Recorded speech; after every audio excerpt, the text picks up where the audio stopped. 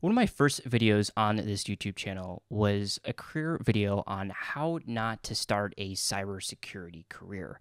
I was a university freshman at the time, and I felt compelled to give career advice. And and um, looking back, it's kind of comical and and very cringy to look at this advice. But there's one piece of advice that I gave that I think was wrong, and, and here it is.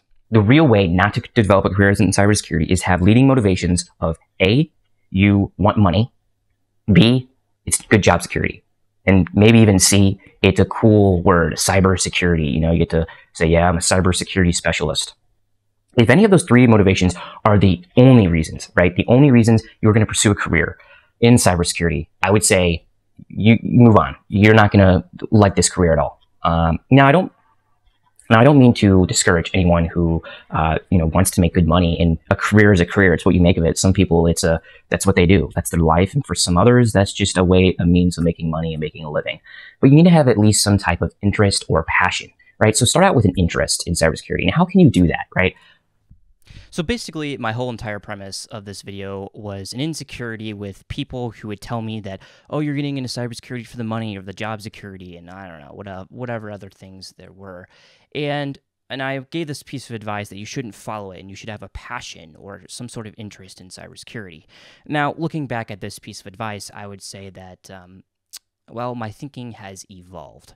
Uh, there's a quote by Scott Galloway, who is a professor at NYU, that goes something like Don't follow your passion, follow your talent. Determine what you are good at and commit to becoming great at it. You know, so what I think that this encapsulates here is that passions come and go through life, but your work ethic and dedication do not. And, and these qualities can be transferable in any area of your life, and that, of course, includes cybersecurity. So, as somebody who is still inexperienced, uh, I would say that take a look at your work ethic and your dedication towards this industry. Now, this video is just literally ramblings of career advice and crap like that. But I think that what I've learned recently, and maybe throughout the last couple of years in this cybersecurity journey, is that having a, a passion in cybersecurity is great. And um, it's something that can keep you moving forward but at the end of the day, passions, I do think, come and go. So, work ethic, dedication, and consistency. I think this is what keeps you moving forward when you're trying to, I guess you could say, get a career in cybersecurity.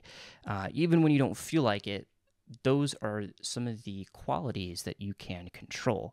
And I definitely have made this, and my thinking has evolved since this initial video. So, moving forward, what I challenge on this small video is to go ahead and try to find opportunities to apply work ethic. For me right now, that is writing down my daily tasks of what I'm going to do for the day, and that includes a component of security or, or whatever that may be. Um, now, for you, that could be maybe attempting a small CTF per week or reading 10 pages of your technical book or something per day. It, it, could be anything. If a passion develops while you are, you know, going throughout your journey of cybersecurity, whether you're in your career or you're a student, uh, that's great. But if not, that's okay. Think about where perhaps cybersecurity uh, in general will take you as a career and what you can accomplish. Um, and, and, when you're trying to lay out your goals of life, whether that may be uh, pursuing your passion or maybe getting job security or some sort of good paycheck, that's great. Um, find those goals because they can develop and, and work out. Um, so cybersecurity. Is it the right way to achieve those goals? That's up to you. So, how not to start a career in cybersecurity? Well, um, don't follow my advice. uh, I don't know. This video is short, but um, hopefully this message finds you well. And yeah, until the next video, have a good day.